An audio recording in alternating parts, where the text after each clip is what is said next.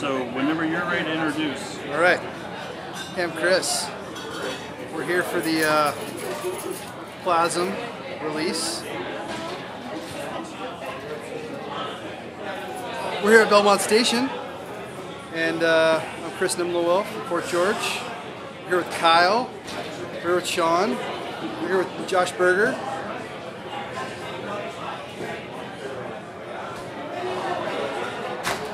Let's drink some beer.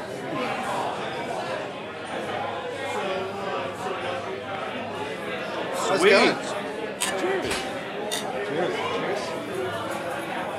All right, guys. So obviously, uh, Plazm's a big release for you guys. It's the first collaboration between the Commons and Fort George and Plazm Magazine. So really, Fort George's known for you know their IPAs, their big collaborations with those other breweries. What made you guys come together and decide to do a uh, farmhouse ale with Plasm? Well, we, we were basically approached by Fort George, uh, you know, really looking to do kind of the stuff that we do normally and uh, with, with the farmhouse ales. And so we were really looking for an opportunity to brew a beer with them that, that we, we were excited to be brewing a beer with them that uh, it was a little bit like I don't know. We, we, get used to doing our own beers, and so it's kind of fun to have a collaboration where you get to work with somebody else who does something different. That's awesome. And you guys have been knocking out of the park lately with everything. Um, so it was when I heard about the collaboration, I was like, oh shit, yeah, that's fucking great. Yeah. that's gonna be great. Um, and then Josh from Plazm, I know that you and Jack and Fort George have a long history together. Well, I know uh, Jack's probably is, is my oldest friend, but uh, I've been working with Fort George since day one. I remember when Chris and Jack came into my uh, studio carrying a big binder full of uh, beer labels from around the world, and we talked about uh, building a logo and building, and they're starting their business, you know. So, uh, you know, and trying to balance the ideas of back then we were calling it industrial and organic and you know and, and we were trying to balance those things and so I've been helping with the Fort George brand since day one and uh, when they the, these guys said Chris said he wanted to do a plazm uh, beer or a beer that celebrates Plazm magazine because Plazm is both a magazine and a design firm and the magazine is a uh, you know just a something that we experiment with uh, form and process and content and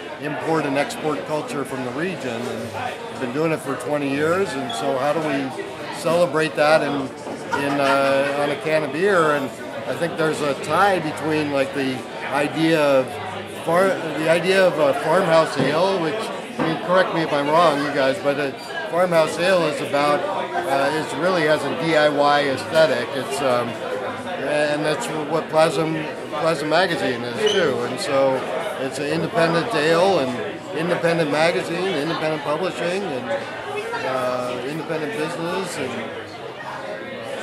That's power awesome. power to the people, and drink more beer.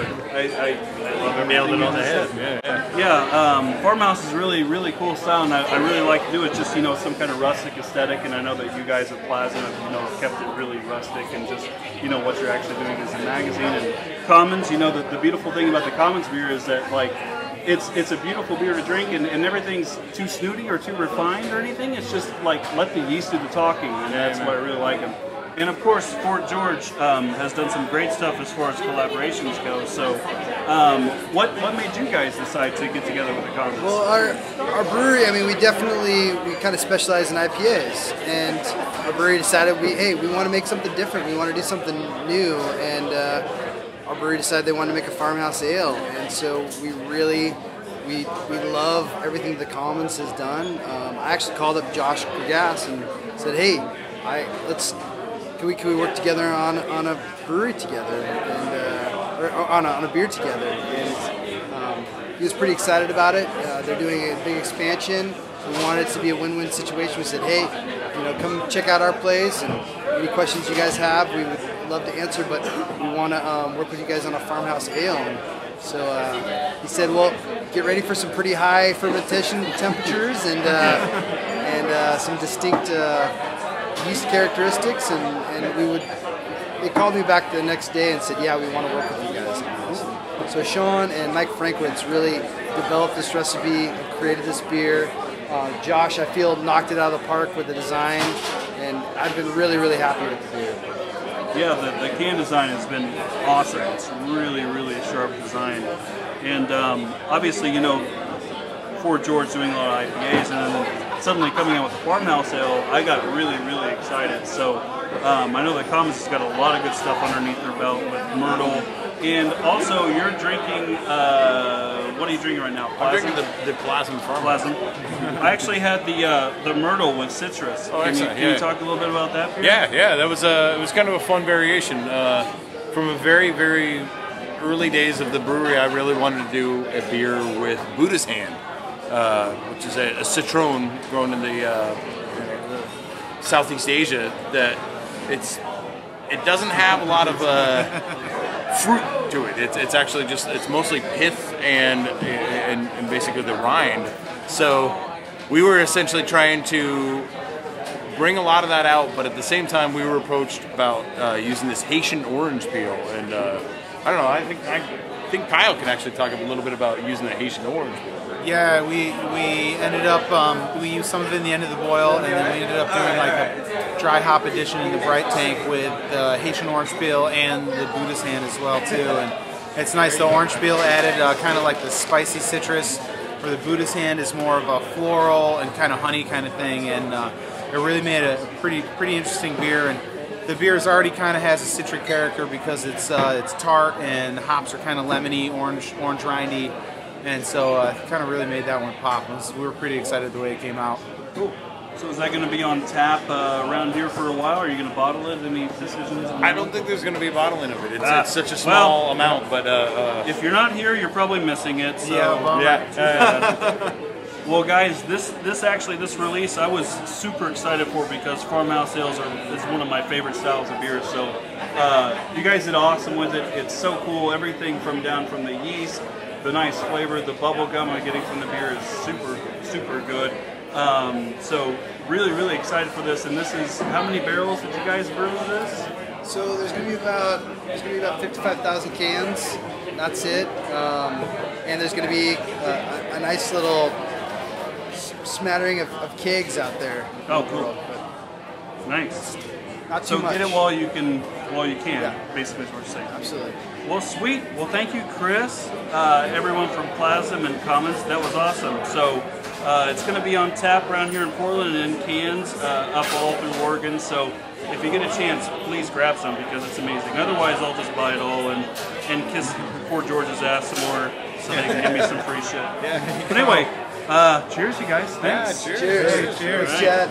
And isn't this an awesome bottle shop? Oh yeah, right. Belmont Station. So Belmont Station. we love this place. Yeah, if they could just send me a voucher in the mail, that'd be great. But anyway, there they are. It's great. No, Belmont Station is great. I mean, if I, if anytime anyone comes from out of town, they're like, I'm in Southeast. There's two places I only say: Commons and Belmont Station. Oh man, Right on. What a fucking kiss. I, don't know, I just met this guy. But anyway, yeah, Belmont Station's been great. They've got a lot of good Fort George and uh, common beers on top, actually. So uh, get down here while you can. Try some Plazm. Try some of that nice Myrtle that just got went on. All right? I think it's good. Cheers. Cheers. Josh, you've seen uh, one of his videos too. I've seen a couple of them, yes. I only, um, seems like I only make Fort George videos, but that's okay. Yeah, I'm okay with that. It's all right. no, you're You're, you're our number one fan, Chad. See, that's the way it should be. Yep. Here's my boy right here. Whoa! It's a boy! Look at he's hung like crazy, man. Oh, maybe sit down there. He's um. he's getting up there. Check, check, check, check.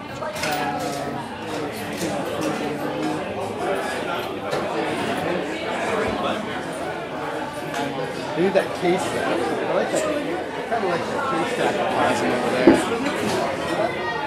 He's these these look incredible in case stacks. Yes, I. Like, like when you get a bunch A of them together. bunch, yes. Oh, I love that. You have case. You have cases of them here.